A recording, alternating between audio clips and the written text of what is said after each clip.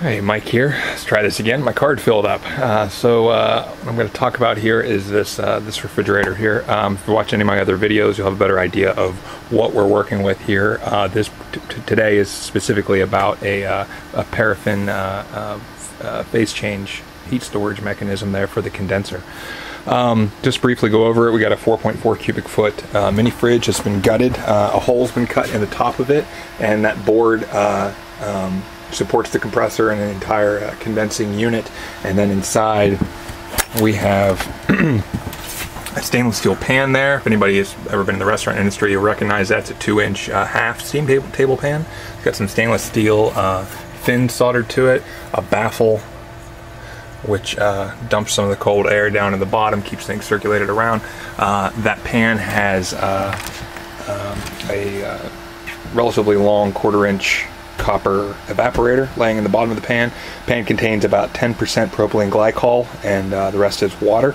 Starts to freeze at about 26 Fahrenheit and continues freezing until the whole thing would theoretically turn solid down around the negative 60, negative 70 degrees. Never gets that cold, but um, it allows me to store some cooling uh, capacity in that uh, in that uh, um, propylene glycol water mix. it's a non-eutectic um, phase change material. Uh, and that way I can run the fridge, you know, when it calls for cooling, and uh, it will, you know, refreeze that thing when the compressor shuts off. The ice will uh, melt and it will uh, continue to cool the fridge for several hours. Um, and in that way, it uh, increases the length of my run time, but also vastly increases the length of my off time too. So uh, this thing will hold over for several hours. Up until now, it's probably, pretty typically in the last few days, it'll run for about an hour. It'll be off for about four or five hours. Um, compressor is a rotary compressor, 120 volt AC. It's about um, uh, about six horsepower, maybe eight horsepower. Um, the uh, refrigerant is propane, uh, right out of the bottle, barbecue grade, uh, also known as R290 when it's a little bit more refined than this. Um, up until now, last few days, I've been using the uh, static condenser this video is going to be a little longer. I got a lot of stuff to explain. Uh, it's a static condenser made out of copper. There's some other videos you can watch that explain that. Um, I got this idea a few days, actually I got this idea several years ago. I wanted to try this out and a few days ago I said, well, what the hell? I'm already storing cooling capacity in the fridge in the form of the uh, the non-eutectic phase change material. Um, so I'm pumping out you know the heat absorbed by that that ice over the course of the last off cycle. Uh, so four or five hours worth of heat that's absorbed through the box, or whatever I put in the box, or opening the door. Um, and I have to discharge all that heat, say, within an hour or two. Um, so the idea here was, well, why don't we try to discharge all that heat into another phase change material that can then slowly dissipate that heat over the course of the next several hours until the whole thing is resolidified and it's ready for a it's recharged, it's ready for another go. Um, at which point the compressor kicks on and it melts all this uh, this paraffin. Uh, this is uh, essentially Vaseline. It's white petroleum jelly. Um, try going around town and buying uh, you know an eight pound tub of petroleum jelly. People uh, kind of look at you funny. So I ended up just buying the little little tubs and uh, throwing it in a double boiler and melting it and pouring it in there. this is a kind of a glass. Um, vase. I guess it's like a flower vase or something. I bought it at Goodwill for a couple of bucks. Um, drilled a hole in the bottom here for the outlet of the condenser. And the inlet's right here. That's just the discharge from the compressor. And it just coils the whole way down. You can see that there. It's 3 16 copper tubing, about 50, well, it's exactly 50 feet. Um, there's a whole roll. So uh, just kind of sitting in there. There's a little bit of a stainless steel support in the bottom there to, to keep it uh, kind of level. Um, so what that does there is um, when this wax is solid, which it's kind of semi-solid right now, this is not a pure paraffin. Um, it's it's a hodgepodge of uh, of hydrocarbon chains. Um, uh, not I don't know all the details, so don't ask me. Um, but uh, it has a melting point of roughly 99 degrees. It's really a melting range, maybe centered around 99 degrees, uh, because it's a mixture of so many different hydrocarbons. If I were to get a more pure paraffin substance, it would have a more uh, uh sharp melting point, but uh, um, that's not the case here. So uh, it was cheap, it was easy, and it's got a fresh scent to it. Kind of smells like baby powder, especially when it's really warm. You know, it's very effervescent. So during the run, uh, this thing melts all this uh, this paraffin in there, and uh, and then we have a thermosiphon, which I've been wanting to build a practical, useful uh, thermosiphon for a while. I've built a few um, that uh, just kind of demonstrate the principle, but this one actually does something. So we have an air-cooled condenser. Um, I went for the air-cooled one simply because uh, I figured if I can't do it with the air-cooled, I'm static's not not uh, not going to be an option. So uh, this is a completely separate refrigerant loop. It's completely passive on this end, uh, with the exception of the fan. But you know what I, what I mean is there's no pumping action of the propane. Uh, all pumping action that occurs in this line and this line here um, is is passive. It's a bubble pump. So there's a certain amount of liquid propane and of course gaseous propane in there, uh, sitting at saturation. and uh, there's another large coil that sits inside of this outer coil here. Uh, it's made out of quarter inch tubing, which has been recycled from a, another project. Uh, it's far less uh, less length. It's probably only about 20 feet, um, and it's quarter inch instead of 3 sixteenths. Um, that coil um, is designed to absorb heat from the melted paraffin, and then to uh, pump any vapor bubbles that are that are produced, along with any liquid that gets pumped up with it, up into the top of this condenser coil, and then uh, liquid that's both been uh, uh, uh condensed and cooled returns back to the bottom of the coil to pick up more heat and start the whole process over again. Um, the fan obviously helps that process quite a bit. Um, it's going to run continuously for the next you know, day or so to several days, depending on how long I decide to mess around with this thing. Um, right now, where I have this probe at, it's about 90, uh, 98 degrees. Um, I've seen this thing up to as high as about 111 today, but that's just where that probe is. It varies throughout the paraffin there. Um, obviously, as the heat is being added at the coil, that's going to liquefy first. Um, the issue that I think I might run into with paraffin is uh, it has very low uh, electrical conductivity. It's an insulator, so it's probably a thermal insulator too. So that kind of sucks for this application, but um, it's uh, there's there's some some progress here. There's some some good things that are happening. Uh, so anyway, so the thermosiphon seems to be doing its trick, um, doing its job. Um, I throw my hand over the discharge over the top of the uh, the evaporator coil. That is the evaporator for the thermosiphon. Uh, it's noticeably warm. Throw my hand over the return from the condenser of the thermosiphon, and it's quite a bit cooler. So uh, definitely some action going on there. How much liquid, how much bubble action is going on, I don't know. I don't have a sight glass in it. Um, I didn't want to use a glass tube with the vinyl tubing like I've done before um, because uh, those are notoriously leaky and I've actually had one pop on me uh, because I uh, applied too much heat to the evaporator. Um, right now, saturation is about uh, 180, 180 psi, which corresponds to about 103 degrees. So we're showing 98 there. So I would say probably the average temperature across the whole thing is, uh, is about 103 degrees because that's what the saturation pressure we're showing. So um, as far as performance goes, it's only still in its first cycle. Um, the fridge was off for several hours, so uh, uh, it had a bit of work to do.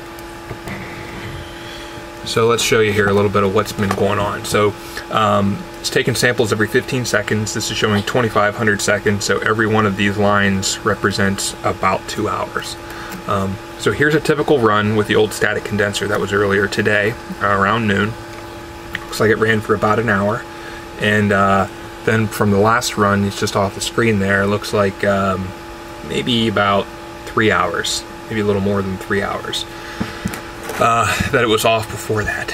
Um, then we have this long off time, and the temperature rose a fair amount inside the box. Um, temperature warmed up a little bit, and you know the ambient here uh, got a little warm. So, um, so it was off while I was doing the changeover the uh, the system.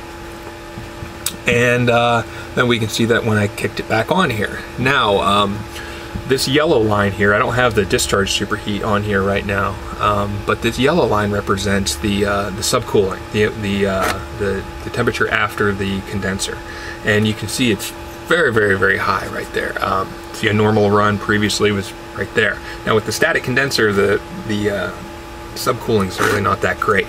Um, but it's a hell of a lot better than what I was seeing in the first half hour, 45 minutes, maybe an hour of, uh, of the operation with this thing. Now, I had some concerns uh, about the paraffin. Um, I mentioned the thermal conductivity or lack thereof. Um, and also, uh, um, as the whole mass of it really starts to heat up, um, I didn't really see how it was going to subcool to any great extent. And that's exactly what I've, I've found. Um, subcooling is usually about 7 degrees, which is pretty piss poor, particularly if you're um, condensing up over, you know, a buck 40, buck, buck 45. Um, it's pretty hot. It's coming out back pretty, pretty damn hot. Uh, but uh, nonetheless, we were definitely pulling the temperature down. Uh, there's a faint gray line there. You can see it, it, travels up and then down. You can see previously in the old runs there, it slowly comes up and then back down, up, and back down.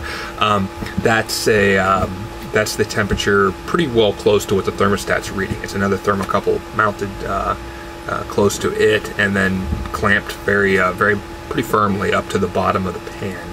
Um, and it reads a several degrees warmer than the uh, temperature in the bottom of the pan. I have another thermocouple down there. So, uh, um, you know, initially I was pulling the temperature down pretty well, um, but the discharge pressures kept going up and up and up and up and up. So saturation on the high side kept going up and up, and the uh, the amount of subcooling that I was getting out of it was uh, was declining, and the, the temperature of the the high side liquid going to the cap tube was was rising and rising. Um, as that paraffin melts and the temperature begins to build and build and build, if that thermosiphon can't pull that heat out effectively, um, that temperature is going to continue to climb, the high side pressure is going to continue to climb, uh, it's going to keep pushing more and more refrigerant into the low side, um, and uh, uh, as that discharge pressure goes up as well, there's more work that the compressor has to do. Uh, discharge superheat um, starts to rise. We end up with more and more and more uh, uh, excess work or the compressor just kicked off. That was the first run cycle. Uh, and then that's just that much more heat that needs to be dumped into the uh, into the paraffin and, and, and discarded.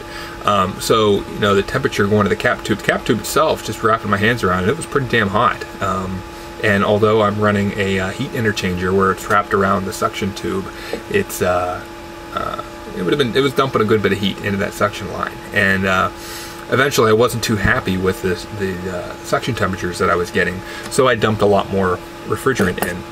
You see that red line where it really starts to drop, and then the, this light blue line plummets not long after. Um, that uh, that red one there is the uh, evaporator temperature directly after the evaporator. So I quickly uh, dumped enough refrigerant in there that it was able to uh, satisfy the uh, the needs of the evaporator and uh, bring it down to saturation. Um, the blue one there is after that heat interchanger I talked about. So it was dumping all that heat from the capillary tube into the suction line, and uh, it's a few degrees warmer than than saturation, but something didn't quite add up there. Um, uh, it seemed like there should have been a lot lot more temperature difference between the red line and the blue line. Um, but what I found over time was uh, that uh, uh, that subcooling temperature kept continued to rise, and um, although initially we saw a sudden drop in uh, the temperature of the pan, I mean over the course of 20 minutes or half an hour, uh, it really started to flatten out once I dumped that extra refrigerant in there. Um, I was getting very high discharge, high side pressures up over 300 pounds, 315 pounds, which corresponds to about 146. Uh, and um, with that high discharge pressure, it was pushing a lot more refrigerant to the low side, which was raising the suction pressure as well. And uh, that suction pressure was up over, I think it was about 35, 36 pounds, which is like 14, 13, 14, 15 degrees. Um, when I'm trying to bring that pan temperature down, know, very close to the evaporator, um, when I'm trying to bring that thing down to, eh, right now it just shut off and it's showing me about two, um, two degrees. Um, typically I've been seeing about maybe five, six, seven degrees just a few minutes after it shuts off once things kind of equalize. Um, but if I'm trying to bring it down to those low temperatures and, uh, you know, say the pan temperature is showing me it's 16 degrees, 17 degrees, and my evaporator temperature is only about 14, it ain't moving any heat. You don't have enough temperature difference to actually absorb any heat into the evaporator. Um, so, uh, although I was running close to saturation, um, I realized very quickly that I had this thing overcharged. Um, so the first thing that I did was uh, and uh, right away I saw the suction temperature rise, the uh, suction pressure dropped. So uh, saturation at that pressure was a much lower temperature. So that refrigerant was was uh, evaporating and boiling away at a lower temperature, and that gave me my um, enough temperature difference between the evaporator coil and the glycol and water that I'm trying to freeze to actually start moving some heat again.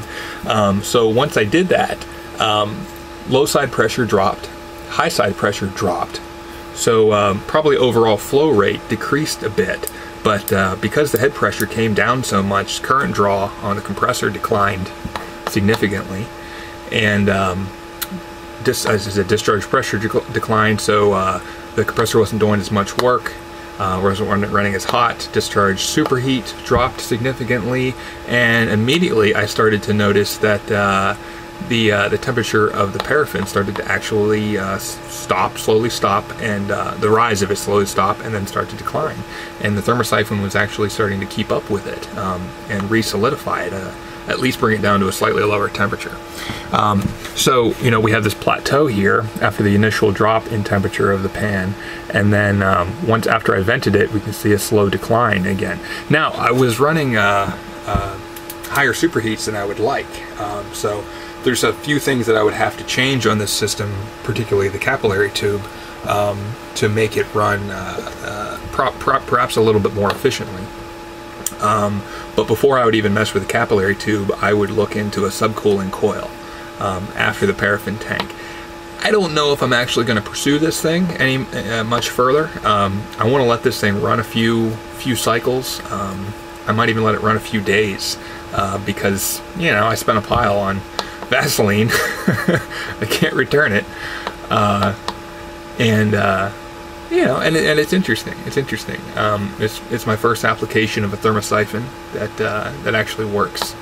Um, it has a purpose, and uh, and the paraffin tank. That's something I've always wanted to see, and uh, just had to do it myself. So uh, you know, I might as well just play with it a little bit. And uh, you know, if it's something that's I think I can make practical, and there's a significant advantage to it, um, I might pursue it further. But you know, at this point, I'm just going to uh, just play with it a little bit. You see, uh, see, it's getting pretty milky there. Um, it was uh,